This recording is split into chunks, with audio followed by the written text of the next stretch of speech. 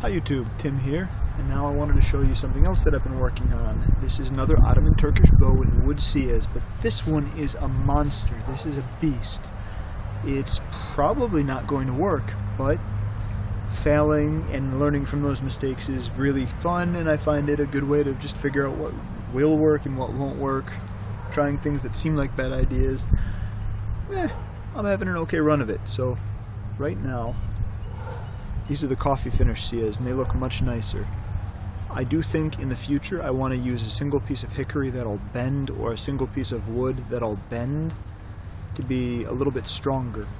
So once I subtracted these areas of PVC, the bow weighed 514 grams before I added what hopefully will protect the heck out of me. That's uh, fiberglass strapping tape reinforcement. I will take it off once I understand that this will not explode, but I don't know what's going to happen. So, just for a hint, when I drew it fewer than six inches from brace, and it braces at about five and a half, six inches, it was weighing about 35 pounds.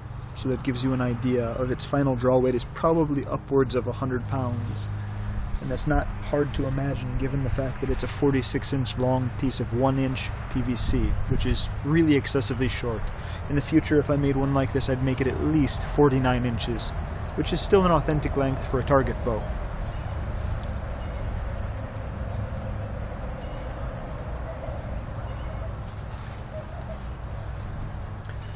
There the bow is strung, just under, say, five and a half inches. Like I say, it's very, very heavy. I think either the siyahs are going to fail or the limbs are just going to snap off.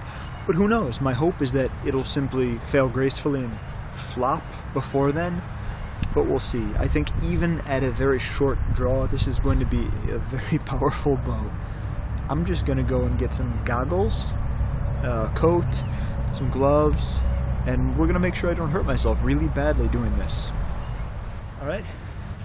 Here I am, leather coat, leather glove, goggles. In the worst case scenario, I should still be fairly well protected.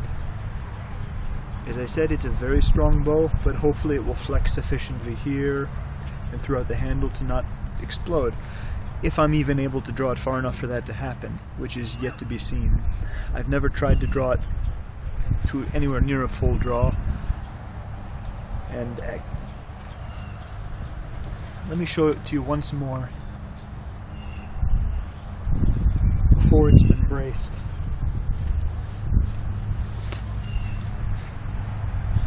The siyahs, the nocks are just on the inside of the handle.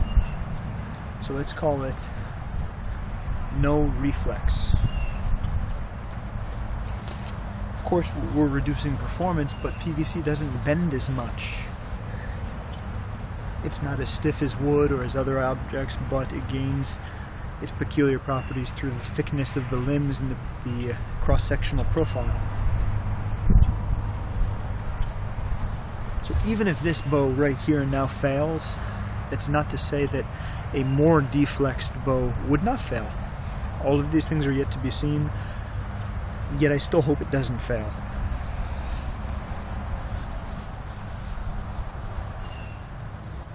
If it does, at least it's on camera this time.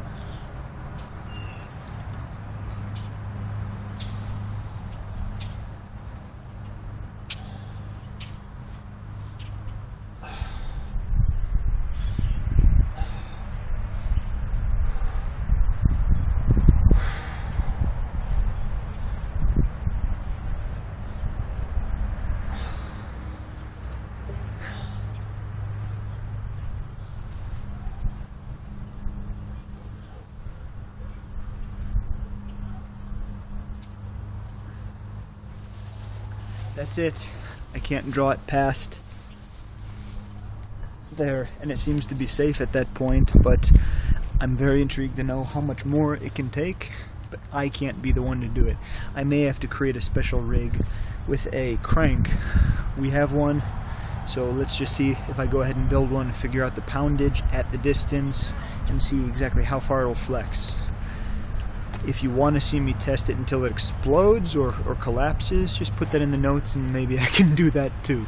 On the other hand, I really do like it and I'd rather not waste it. But since I am using hot melt glue, I will be able to recover the Siyahs if they are undamaged. But like I said, I sort of expect them to be the part that fails. I don't know. I'm leaving them thicker than the uh, traditional bows. But again, the wood is not as good quality. It's lower density, not as strong wood, and the grain is not perfect. So, there is my monster Turkish bow. It's a very heavy bow.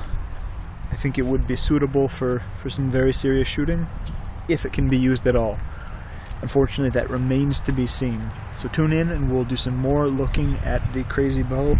At least I didn't put shards of PVC into my uh, my face. Thanks for watching, YouTube. Alright, this should be a better angle. I know the last portion of that was a little bit poorly cut, but sorry, this I'm trying not to show too much of my neighbors' yards and houses and get them in, so I hope you understand why sometimes I take it from odd angles. Nevertheless, here we go. This is the same bow. Not wearing the leather jacket because I no longer believe that I'm even capable of stressing this bow far enough to, to damage it, to break it, if it can be or will be broken.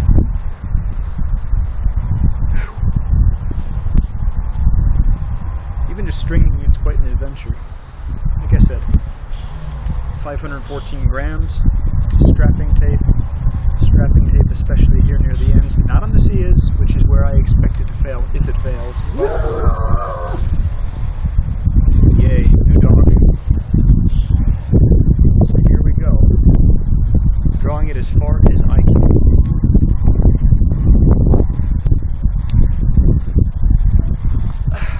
That's it.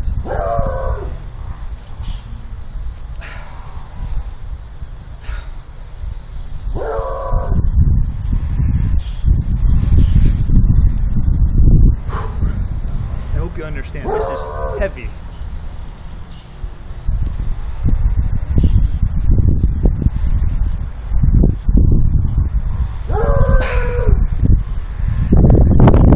I am coming very close to damaging myself at this point.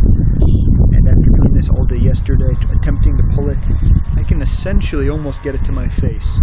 That's pretty impressive. I'm really happy with that because that means I'm pulling ooh, somewhere over 80 pounds just to get it that far, and it's not even full draw yet, but it's getting close. Even where I was yesterday, it was still shooting really fast. This thing is pretty amazing for what it is. So I hope you enjoyed this little preview, and I hope you uh, will tune in to see what I do with it next.